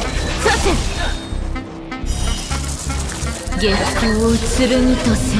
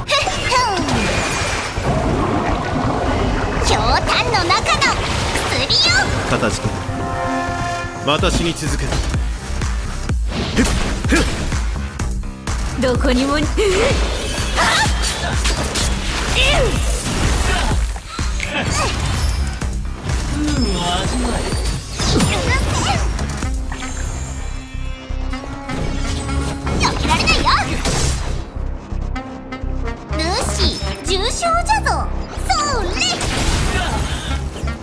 隙だらけ。陛下慈悲なし。死での準備をしろ。高校たる異例よ我が命に従え。残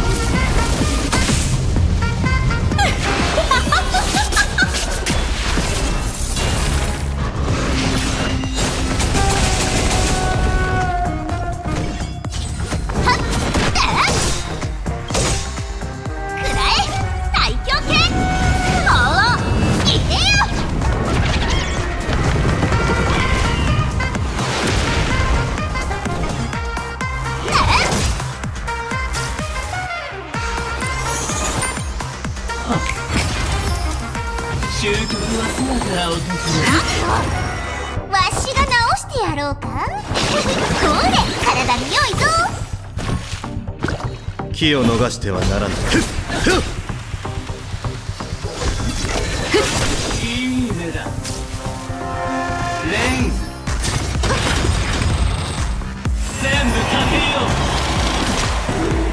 け今引けば見逃そう。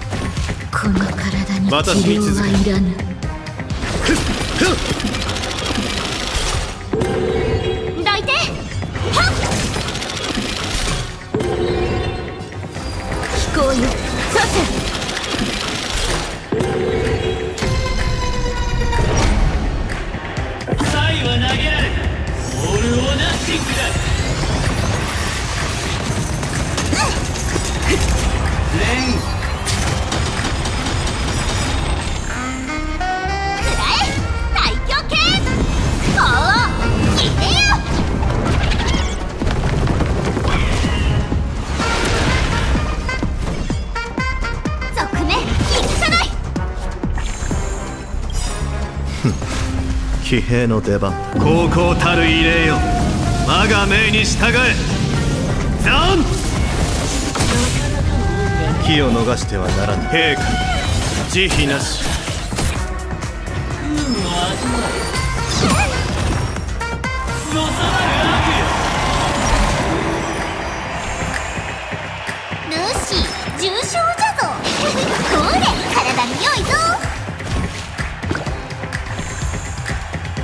今引けば見逃す。よっ。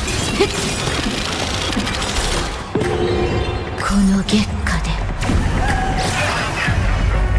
全て。照らさん。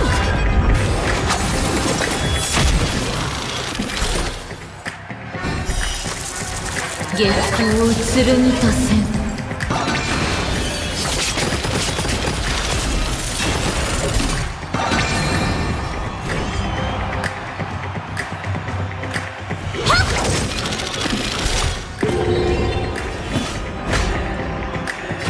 海底へここへ。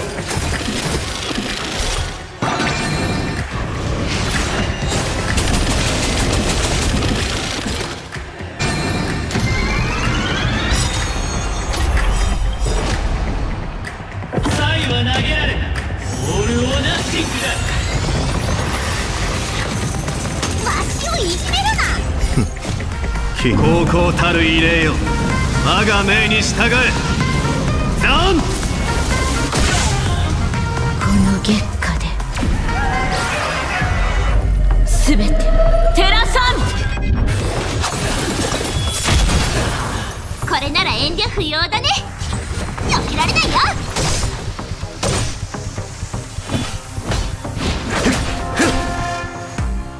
こにも逃げられ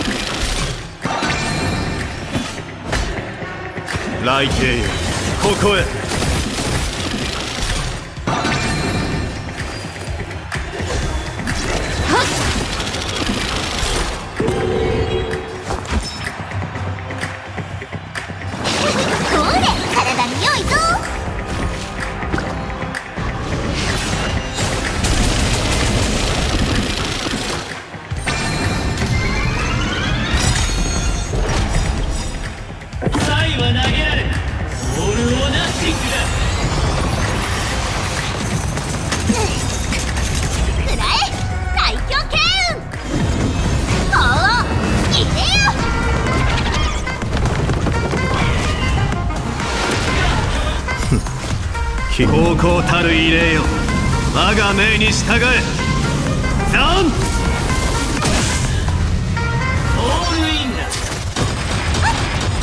抱いてボコボコにされた。ら私に続く陛下慈悲なし。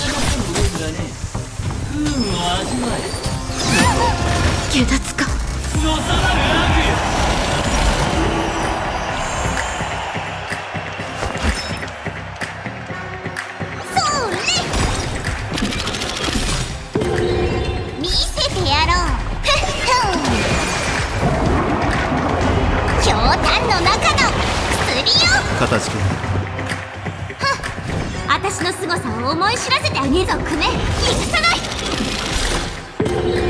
機を逃してはならない。雷帝よ。ここへ。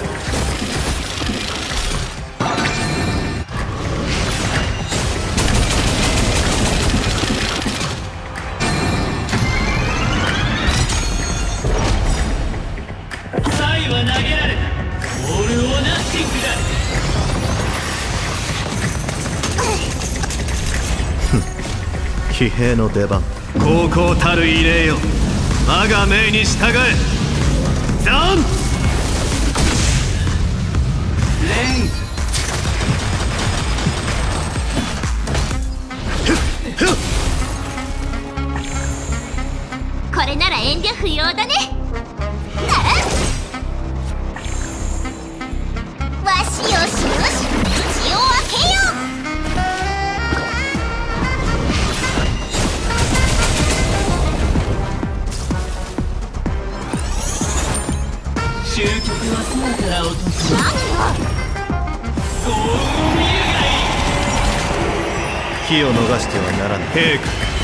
慈悲なし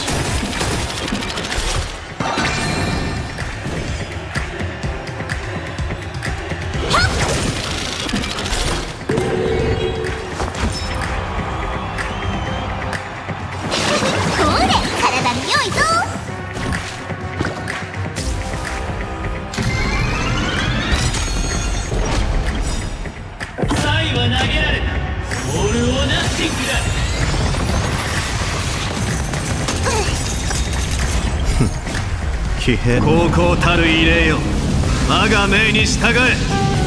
ザンラストタイム。大事